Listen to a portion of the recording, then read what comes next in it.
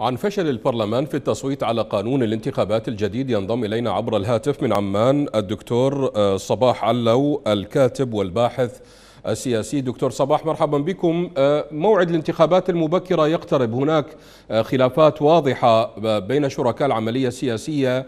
هذه الخلافات تتفاقم يوما بعد آخر. لكن هنا كيف يمكن قراءة فشل البرلمان في التصويت على قانون الانتخابات الجديد؟ تحية لكم حقيقة ما يحصل في آه، البرلمان العراقي في مناقشته منذ أكثر من ثمانية أشهر أو أكثر من العام الماضي نعم. ولغاية اليوم آه، نلاحظ هناك سجال عقيم ما بين القوى السياسية وهناك جهات تعمل على تأخير آه، إقرار القانون بما بمطالب بمطالب الشارع العراقي. طيب. وهو أن تكون عدد المراكز الانتخابية مساوية لعدد النواب وهذا يعطي آه، دفعة كبيرة جدا لتطوير آه، العملية الديمقراطية وبنفس الوقت المجيء بوجوه جديدة ليس التي تتكرر في كل أربع دورات انتخابية ماضية مما رسخت المحاصصة والفساد وكثيرا من آه، الأزمات التي يعيشها شعبنا حقيقة طيلة 17 سنة ماضية. لذلك القوى السياسية حقيقة المرتبطة بأجندات سواء خارجية أو داخلية أو مرتبطة بقوى مسلحة تعمل على إبقاء حالة التوتر المستمرة في داخل مجلس النواب من حيث المناقشات إضافة إلى التوتر في الشارع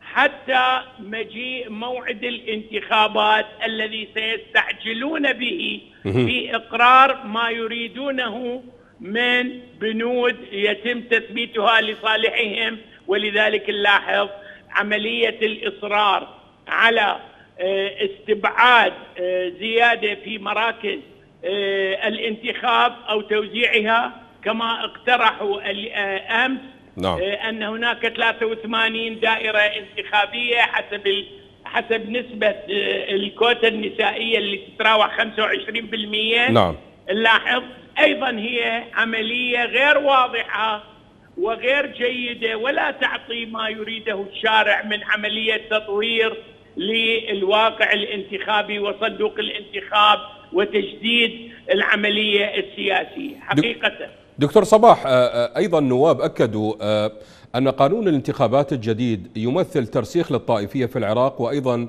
موضوع محاولة توريث المقاعد النيابية على غرار ما يحصل في لبنان. البعض الآخر ذهب إلى أبعد من هذا وصفوا القانون الجديد بأنه ذبح العملية الديمقراطية. هل إلى أي مدى تتفق مع ذلك دكتور صباح؟ حقيقة عدم تطوير عدم تطوير القانون الانتخابي وبنفس الوقت حتى تطوير هيئة آه الهيئة المشرفة على الانتخابات آه ستعطي إمكانية عالية جدا لهذا التصور بأن العملية الديمقراطية تم آه قتلها وردمها في العراق التي بصراحة كان الناس يتأملون بشكل كبير جدا بعد التغيير بعد 2003 أن ستكون هناك قوانين حقيقية لصالح المواطن ولتطوير العملية الديمقراطية بما يضمن بناء دولة المواطنة.